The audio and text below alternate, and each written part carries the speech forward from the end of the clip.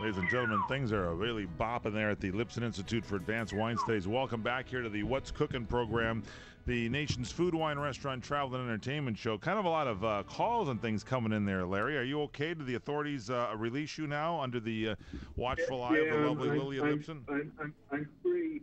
I'm free on bail. I put up uh, two cases of wine. Uh, fair, that boy, I tell you, pretty pricey these days. in anyway, Costa listen. Rica. Yes. Listen. To, tomorrow, tomorrow is uh, is Larry and Lillian's uh, uh, wedding anniversary. Oh, I could tell Lillian was getting quite amorous and uh, helping you out with some of the information. Apparently, things are getting on a very light and romantic note in Costa Rica. Yeah, we're going to go to one of the better restaurants uh, in this area tomorrow night. Yeah, I was at the new Capital Grille. Very interesting uh, that uh, the Capital Grille, a national chain, has made its first appearance in the state of California in uh, Beverly Hills uh, and also in uh, Costa Mesa. And they're opening, been open about eight weeks or so. Go to a nice place. You have a Capital Grille there, maybe, or a Ruth's Chris Steakhouse you can go to.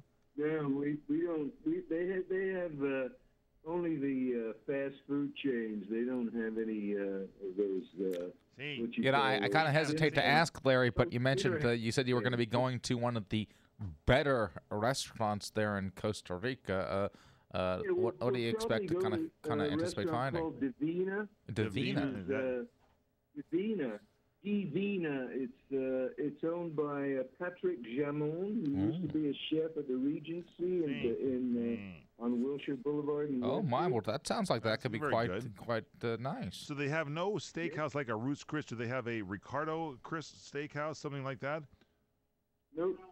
No, they no, there's nothing like that around here. We're we're very rustic. There's a they have a one or two steakhouses, but um, there's nothing, no names that you would recognize. They're all independents. All right, I'm going to give you a couple of tips here. This is from the Rioja tasting, and see if you have forgotten uh, some of these. Monte Real, uh, this was a, uh, a red Crianza, and uh, very good. Had good structure to it, Larry, and uh, not that pricey. Uh, very good wine. What's you might want called? Monte, Monte Real? Monte Real, and uh, let me see what else I have here for you. Just uh, pops in. I took some copious notes here, and um, yeah, as you can see, Paul was not with me, but Oh, Paul I- took notes I, as I well. you know, I I actually have some notes on uh, an event Hold that on. I also participated in to a certain Okay, I well, degree. forgot one wine, one other wine I had in. Uh, this was in Port Orange, Florida, at the Stonewood Grill and Tavern. It was uh, La Crema uh, Pinot Noir Oh. 207. Oh, so that's oh, that's really doing it up.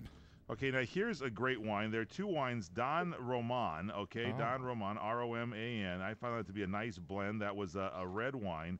And then they had Yeah. uh, this uh, Marquise de Tamares, which also was a red Crianza wine, an 07, which was in French oak. I found that thing to be the best. That's the Marquez de Tamares. And that's a 2007 red Crianza. Was just wonderful. And this place also had the Cava, Cava Don Roman, R O M A N. And um, the, the, they had these two Marquez de Tamaras. One is uh, aged in uh, in American oak, and then one was aged in the French oak. The French oak, much uh, the French and American oak, was just the best. That's the one I told you about. That's the 07. And the uh, Cava was uh, Don Roman. and uh, just a whole So a these, second. these are all these are all small wineries, though, right? Yes, but if you can find them for your anniversary, or if anybody can find them, here is a a, a, a vet a vetiver. This is a, a vetiver. It's 100% Viura. That's a varietal in Spain. It's light but has a long, long finish, and that is a 2007 vetiver. V E T I V E R. And then these uh, Ontañón, O N T A N O N. That's uh, a 01. That was a red Grand Reserve. Very nicely done, by the way, Larry. You'll like that Oh, one. Nine-year-old wine. Yeah, that's a 95% Tempranillo, 5% uh, Graciano. They use Graciano as a blending grape there. S- and then uh, here's a 70 year old vineyard from Taron, T A R O N. That's the name of the winery. And it's a, uh, a blend of Tempranillo, uh, Mazuelo, and Graciano. And it's uh, 2004 vintage, T A R O N, a 70 year old vineyard. If you can find that one. How much? How much do these wines All these, cost? These wines were all like from uh, two to three dollars up to maybe fifteen dollars. Ramirez de la Piscina. Are they, are they actually going to bring some to the United States yeah, they're trying to do that. Ramirez de la Piscina, R A M I R E Z, Manny Ramirez's place. Ramirez de la Piscina, P I S C I N A. This one, excellent wine. You know, it what is pis- a. You know, what piscina, piscina is a swimming pool. Well, I'm telling you, you can swim in this 100% Tempranillo. It's a 2004 vintage. Just wonderful. Okay. That one a little pricier. That one around in the $50 markings. Uh. Well, that's uh, that sounds very interesting. I wish we could uh, get wines like that down here for two or three dollars. My goodness. Yeah, I, I, well, there's one for 450 Cuna de Reyes. Uh, that was good. A $3 wine, Cuna de Reyes 06. Uh, Tempranillo, Grenache, and Mazuelo blend. That was very nice too for about three bucks. Larry Lipson, happy anniversary to you.